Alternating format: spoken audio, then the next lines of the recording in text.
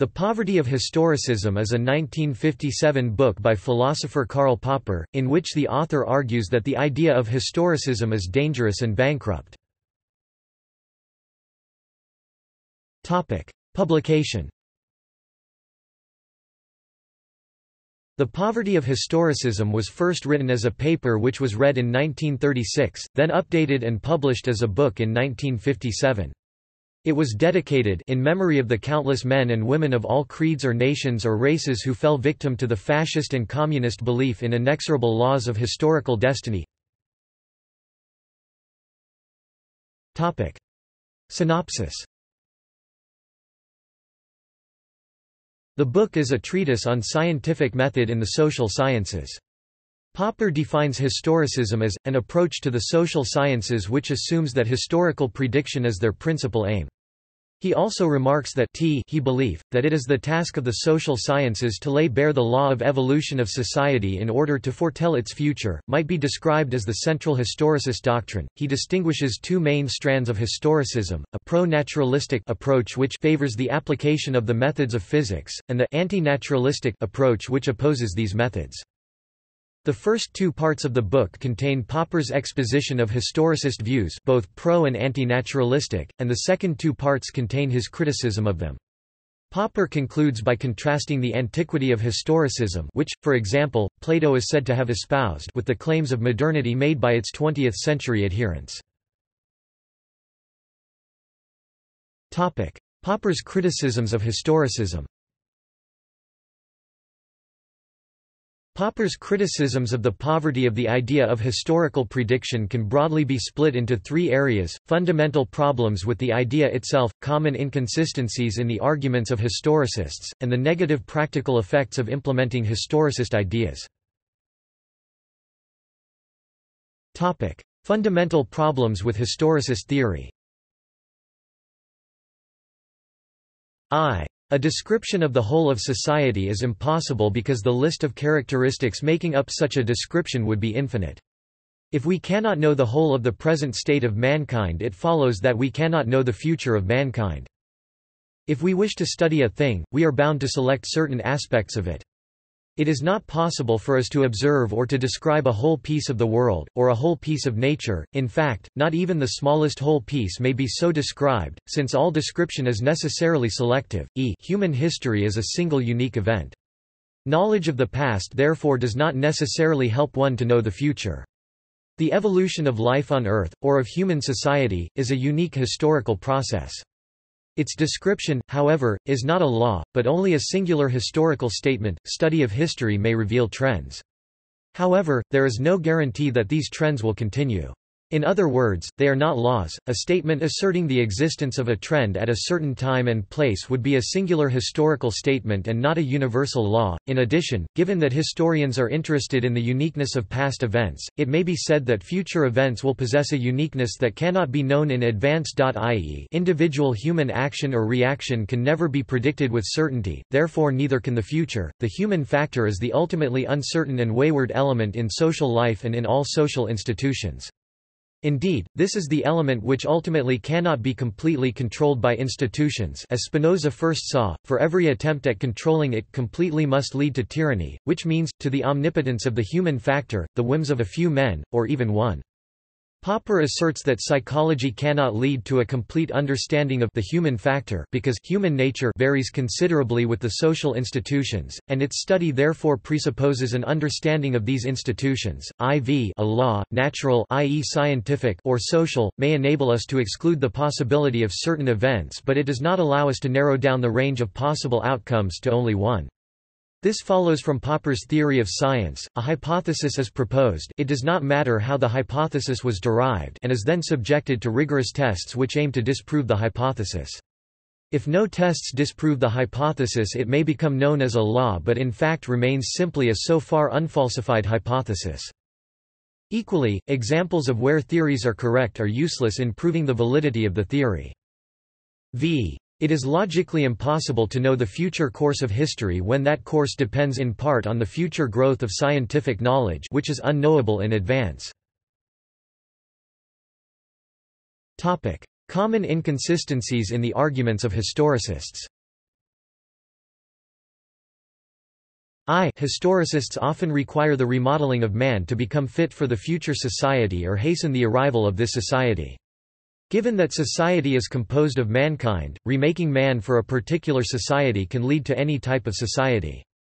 Also, a need to remodel man suggests that without this remodeling, the new society may not come about, and is therefore not inevitable. E historicists are bad at imagining conditions under which an identified trend ceases. Historical generalizations may be reduced to a set of laws of higher generality i.e. one could say that history depends upon psychology. However, in order to form predictions from these generalizations we also need specific initial conditions. To the extent that conditions change or are changing, any law may apply differently and trends may disappear. I.e., historicism tends to mistake historical interpretations for theories. When studying history we can only examine a limited aspect of the past. In other words, we must apply a historical interpretation.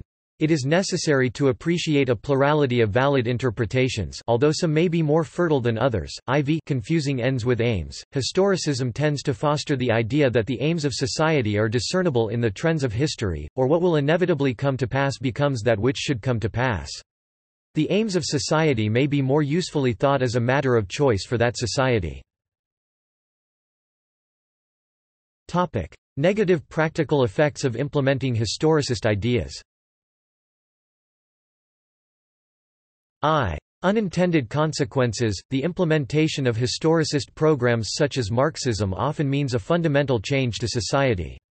Due to the complexity of social interaction this results in lots of unintended consequences i.e. it tends not to work properly. Equally it becomes impossible to tease out the cause of any given effect so nothing is learnt from the experiment, revolution, e lack of information. Large-scale social experiments cannot increase our knowledge of the social process because as power is centralized to enable theories to put into practice, dissent must be repressed, and so it is harder and harder to find out what people really think, and so whether the utopian experiment is working properly. This assumes that a dictator in such a position could be benevolent and not corrupted by the accumulation of power, which may be doubted. In addition, Popper rejects the notion that history cannot be subject to experiment and that any laws of history can only apply to a particular historical period.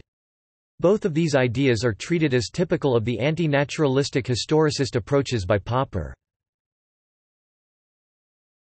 Topic: The positive side to historicism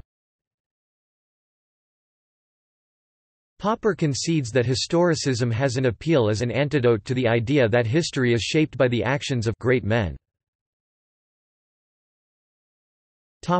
Popper's alternative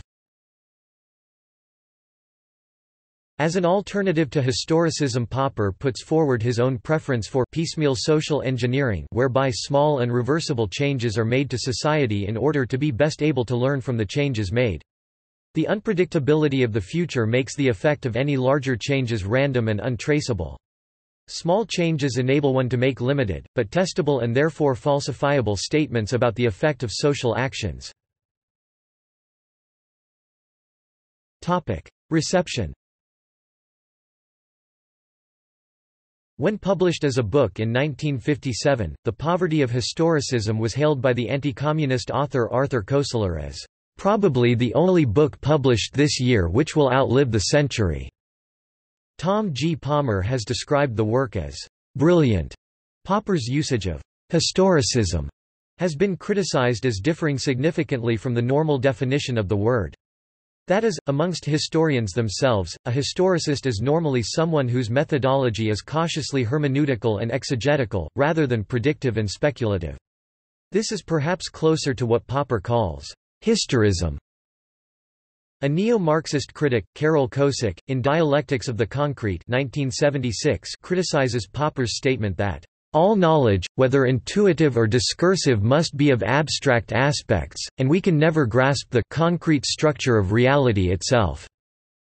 Kosík refers to him as, "...a leading contemporary opponent of the philosophy of concrete totality," and clarifies that, Totality indeed does not signify all facts. Totality signifies reality as structured dialectical whole, within which any particular fact or any group or set of facts can be rationally comprehended.